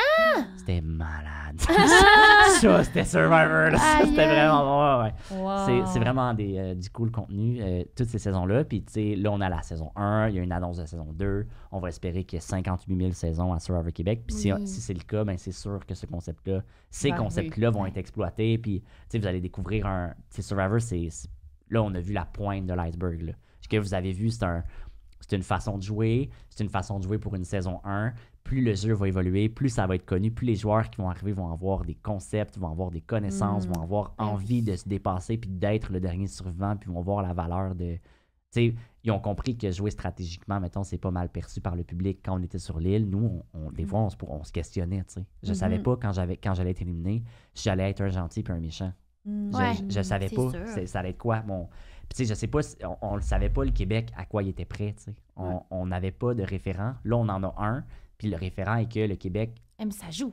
aime que ça joue, aime que les gens se blindside, aime que les gens soient surpris. On veut voir des joueurs se donner à 100 000 tu sais, fait que ça va orienter le style de jeu des prochaines saisons. Puis de saison en saison, je suis persuadé que le show va être va constamment faire ça. Je trouve qu'on a déjà frappé extrêmement fort avec une saison 1. Il n'y a pas une émission que j'ai trouvé poche. Là, tu sais, puis c'est pas parce que je suis vendu, je suis 100% vendu, mais le jeu, c'est vraiment bon. là, tu sais, C'est une bonne saison de Survivor. Si je l'avais vu d'un autre pays, je l'aurais savouré cette saison-là. là, Ouais. tu sais, c'est- C'était du bon contenu, puis ça va être de mieux en mieux. là. Fait que c'est très là.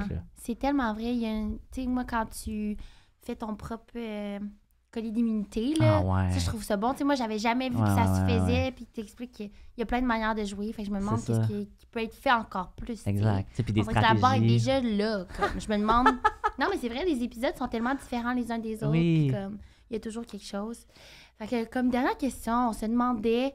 euh, ben en fait, euh, c'est quoi tes prochains projets? C'est où qu'on peut te retrouver? À quoi on peut s'attendre pour toi? euh, Ah, ça, c'est cool. Euh, ben là, c'est sûr que moi, je découvre l'univers de l'influence. Ouais. J'étais influencé et maintenant, je suis, Mhm. je, je fais partie du monde de l'influenceur, des influenceurs. Fait que c'est sûr que c'est très cool. là. Tu sais, Je, je souhaite avoir un impact positif sur les jeunes, sur le Développement soit l'estime et l'importance de croire en ses rêves. Parce que moi, c'est ça que j'ai Mhm. fait, puis ça a eu une importance, puis ça, ça a été ce qui a été le plus payant dans ma vie, là, de, de croire en moi, même si euh, mes chances étaient de 1 sur 3000.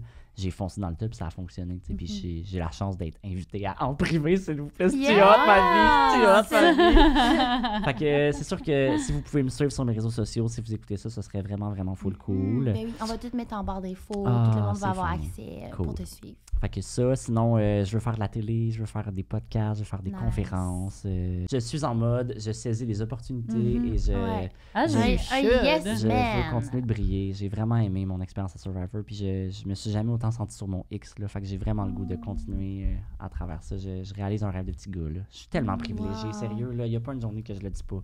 Je suis privilégié. Merci la vie. là. C'est vraiment C'est hot. tellement cool. Ben, ça Ah. vaut chaque instant. Pour vrai, tu le mérites Ah, vraiment. vous êtes fine. Tu sais, ça, ça aide à chaque personne de se voir en toi, de comme justement se pousser. Si ça prend juste que une personne comme toi pour dire à une personne de réaliser ses rêves puis de faire le petit pas Exact. vers ça, ben comme go. Puis déjà, là, tu sais, je suis- super chanceux parce que les gens, ils, je pense que je dégage peut-être le, le- c'est OK, je peux y écrire, il a l'air intéressé, puis je le suis, tu sais. Ouais. écrivez-moi si, si je Mhm. vous influence ou si je vous encourage. Puis il y a plein de monde qui ont déjà, qui ont déjà commencé à m'écrire Hey, tu m'as motivé, je me suis inscrit au gym, je me suis inscrit au CrossFit, euh, Wow. euh, je vais courir trois fois semaine, je veux faire Survivor, euh, merci, tu me- je suis déjà rendu à 10 livres de perdu grâce à toi. Je trouve ça tellement stimulant puis motivant. Là. Mm. Merci de prendre le temps de me l'écrire. C'est pas, c'est pas vous- moi qui vous inspire, c'est vous qui m'inspirez maintenant à continuer. Là. Puis ça, c'est Ah, full J'ai précieux. hâte de voir. Je suis sûre qu'il y a plein. Genre, il y a plus d'inscriptions qui vont être faites à Survivor Ah, pour c'est l'an clair. prochain. C'est clair. Ah, puis je le souhaite, tu sais, puis voyez pas ça comme un, un mur de possibilités. Tu sais, votre couleur puis ce que vous pouvez apporter au show existe, même s'il y a plus d'inscriptions, ça vaut la peine de le faire. Puis il n'y a pas de caste prédéfini à Survivor. Il y a pas, c'est pas un moule de, tu sais, il y a des shows qu'on veut des influenceurs de euh, 20 à 32 ans qui ont des abdos, mais Survivor c'est pas ça. Tu sais, on veut, on la veut la matante qui est Oui, gentille puis qui oui. tricote le week-end puis que c'est ça sa vie tricoter puis que là elle a le goût de prendre l'avion parce qu'elle n'a pas les moyens de le faire. Mais on veut te voir à Survivor. Fait que inscris-toi, sors de ton salon puis fais-le. Pour vrai, si t'hésites là, ben fais juste le faire là. Hot. Puis, t'as-tu un autre. Ok, finalement, ça, ça va être la dernière question. Mais t'as-tu un autre gros défi? Gros défi, comme, tu sais, similaire ou là, tu- Ouais, là, suis un peu euh, côté Ouais. défi, là, je suis dans le néant. Là, mon défi, c'est Ouais. comme de trouver des portes pour les prochaines euh, dans, dans cet Ouais, ça, c'est un univers-là. assez gros. euh, Faut aller cogner. C'est ça, faut aller cogner. Ouais. Fait que là, euh, mon défi, ça serait ça. Mais euh, est-ce que j'ai un autre défi de dépassement de soi, Ouais. mettons? Ouais, j'aimerais ça, euh, monter des montagnes qui sont des Ouais. gros challenges. Ah, Hmm, moi aussi. mais oui. Ah, moi On aussi. parlait, Ouais, non, ouais, on parlait du Kilimanjaro. Ah, ben, l'été Ouais. passé, j'ai amené mon neveu euh, de 14 ans, Elric. On est allé monter euh, le volcan Acatemento au euh, Oui. qui est une- un, gros, un beau. gros hype. Puis mon neveu avait jamais fait de voyage à cadeau. Fait que ma soeur a accepté que je l'amène à 14 ans dans un autre pays, juste les deux. 14, ok. Ouais, puis on est allé monter ça ensemble, puis j'ai comme trippé de transmettre ça à mon neveu, là, ce- c'est les valeurs des voyages à cadeau, la beauté de tout ça, euh, l'éco-responsabilité, tout ça, j'ai trouvé ça vraiment cool de le transmettre à mon neveu. Fait que j'aimerais ça continuer ça, Mm. continuer de, de- de faire des trucs comme ça avec, euh, avec des jeunes. Que, où, où ça va mener, je sais pas, je lance ça en univers. C'est la première fois que j'en parle. J'en Ouais. parle dans un podcast, c'est cœur. Eh C'est ça, on oui. les C'est graines. On Ouais, graines. ouais, s'aime les graines, manifeste si vous écoutez ça. C'est ça. comme... T'es une grosse On montagne, puis que t'aimerais que je te montre. Écris-moi sur Instagram. on va couper juste une partie de ça, on va mettre sur TikTok. Ah on va le on- Ah, mais là, là-dessus, Ouais. euh, on va déjà conclure, mais on va se retrouver rapidement pour nos membres Patreon parce qu'on a un petit after Yes. show Un mini de quelques minutes qui Ça, va nice. suivre. Mais sinon, Angèle, ah, merci tellement. Eh, mais voyons, merci à vous autres. Pour vrai, wow. Ouais, moi, j'avais full belle personne. In ah, and out. Bravo. Merci. Merci à tous. Bye. Bye bye. bye.